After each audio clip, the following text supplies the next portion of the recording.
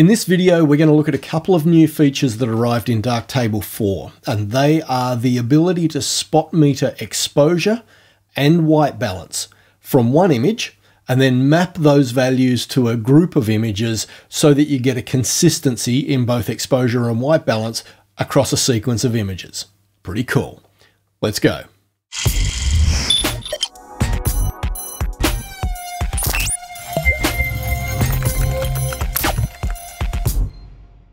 Hi, and welcome to episode 116 of Understanding Darktable. First up, apologies. I'm normally a lot more prompt in getting videos out, particularly when a new version of Darktable arrives, but the last couple of weeks have been absolutely manic. Anyway, for this video, it occurred to me as I was, you know, thinking through my thought process of what I would do to cover these new features, that the way I shoot today doesn't lend itself to using these features. And I really needed to go way, way, way, way, way back in my image collection to a time when I used to shoot with auto white balance. Because with auto white balance, you can shoot a sequence of images within a short period of time, like over a minute or a couple of minutes or whatever. And you're pretty much guaranteed that the white balance is going to change admittedly quite subtly, but it will change between those images. So I went back to 2009 and I found these five images that I'll show you in a sec. The thing is that these days I always shoot with generally one of three white balance presets. It will either be daylight, cloudy, or flash. And honestly, that would account for 98% of my shooting. And the other 2% would be where I set it to Kelvin, put it in set, take a shot of a white card. The camera will then ascertain the white balance of that particular lighting environment and set that color temperature. And I can then go ahead and do the rest of the shoot that way. And again, I end up with consistent white balance across all of those images. So what I've done is grab these five images, and as you can see, I was at the Sydney Cricket Ground watching a cricket match. Now, if you look at these five thumbnails, you can see that the exposure does differ across the five frames, and there's probably some subtle variation in the white balance as well. So what we will do, I've already, by the way, discarded the history stack for these five images. So there is no history here. If we jump into the darkroom, you can see that there is just the starting point for any raw file in Darktable.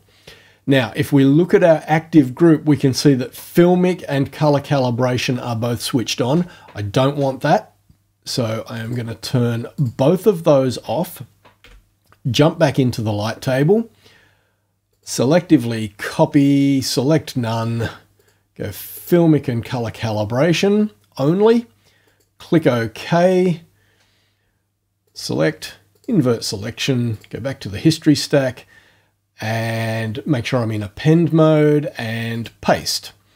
And for some reason, the thumbnails don't want to update. But if I was to go into any of these images in the darkroom view, you would see that the processing has been removed. And you can see it. The thumbnail down here will reflect the changes until you move to the next image and then they revert back to their old thumbnail. It's kind of weird, but anyway, so be it.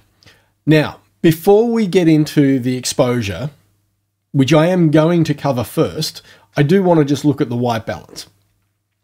And in this instance, what I want to do is set the white balance back to as shot in camera, just so you can see what I'm talking about. These were all shot in auto white balance. And if we look at this first image, temperature 5047 Kelvin. Second image, 5094 Kelvin. Third image, 5092 Kelvin. Fourth image, 5128. And the last image, 5137. So there you go. Shooting in auto white balance, I've got five images, all with a different white balance. Now, like I said, admittedly a very subtle difference, but a difference nonetheless. Anyway, we're going to do exposure first.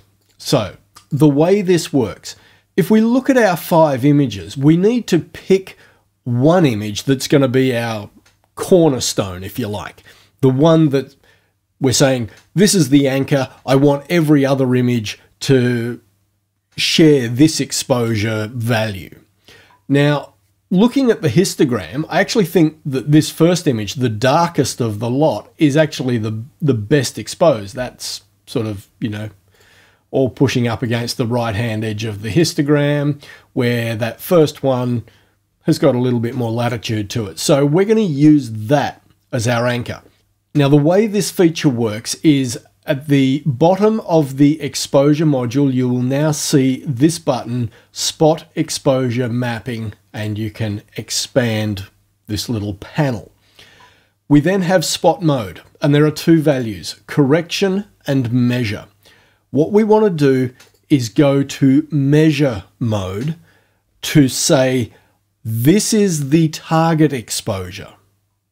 And the way we do it is we grab our little eyedropper tool from the exposure slider and draw out somewhere, and in this instance I'm going to use the green of the grass, to say this is representative of the exposure that I want to map all of my other images to. Now, please don't think that this is a complicated way of just going to the light table and go history stack and go selective copy, exposure, and then paste that to all of your other images because that isn't going to work because it's just going to copy a particular you know positive or negative exposure value to every image regardless of where the exposure was to begin with. This is all about saying the exposure of these five images is all over the shop and I want to bring them to one consistent point. So there is a difference there in not only in workflow but in what it achieves. So you know, please please don't think that we're just overcomplicating what should have been a simple process. This is something entirely different. So we've now measured this patch of grass and said to Darktable, that's the exposure value I want for all of my images. So now we jump to the second image and we set this back to correction. Again, we grab the eyedropper and it's in the wrong spot. We just want to select some grass. So we do that. And then we move on to our third image. It's in correction. We grab the eyedropper. We'll select some grass. And it doesn't matter how big the sample is, as long as it's consistent with what you mapped out of your first image, it'll be fine. Go to the fourth image, grab our eyedropper, and we might just grab some grass that's in there. And then our fifth image, and we'll grab our eyedropper, and probably could have left it where it was. And there we go. You can see now, and I'll jump back out to the light table, you can see that across all of those five thumbnails, the exposure is, it's bang on. It's exactly consistent across all of those images. And what's great is they could have been shot at different apertures and different shutter speeds, potentially even different ISOs.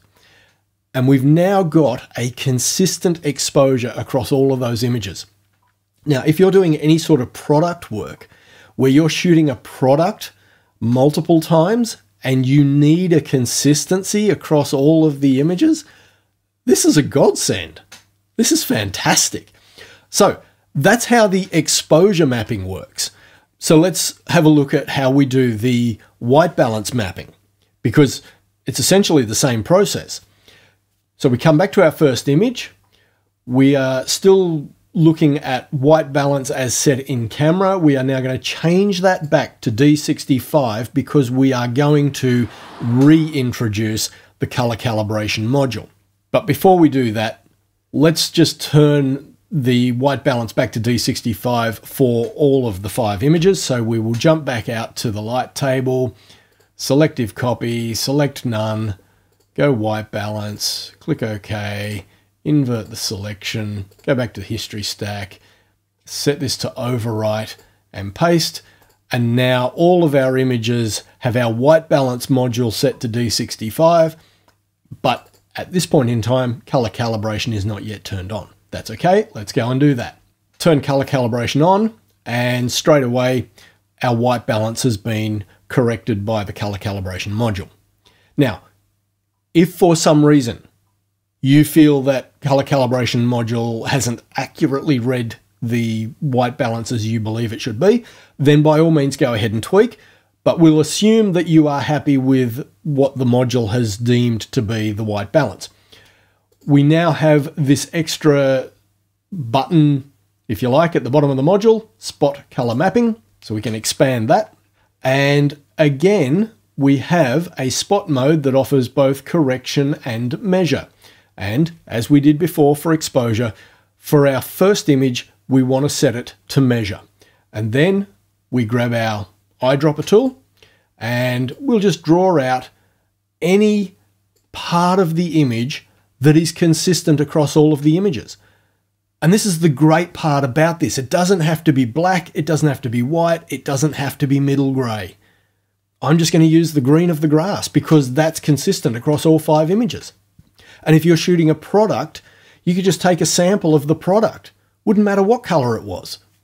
This is awesome. So we now have that reading of the white balance. We can move on to our next image and we now have the spot mode set back to correction. We again just grab our eyedropper Make sure we select some grass and nothing else but grass. And we can just keep on moving on and repeating the process just like we did for the exposure correction. And what we will end up with is a consistent white balance across all of our images. How cool is that? That is just brilliant.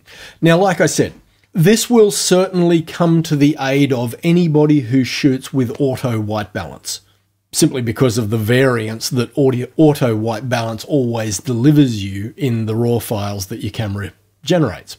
If you are like me, where you shoot with a white balance preset all of the time, then you're probably not going to need to do a white balance mapping like I've just demonstrated.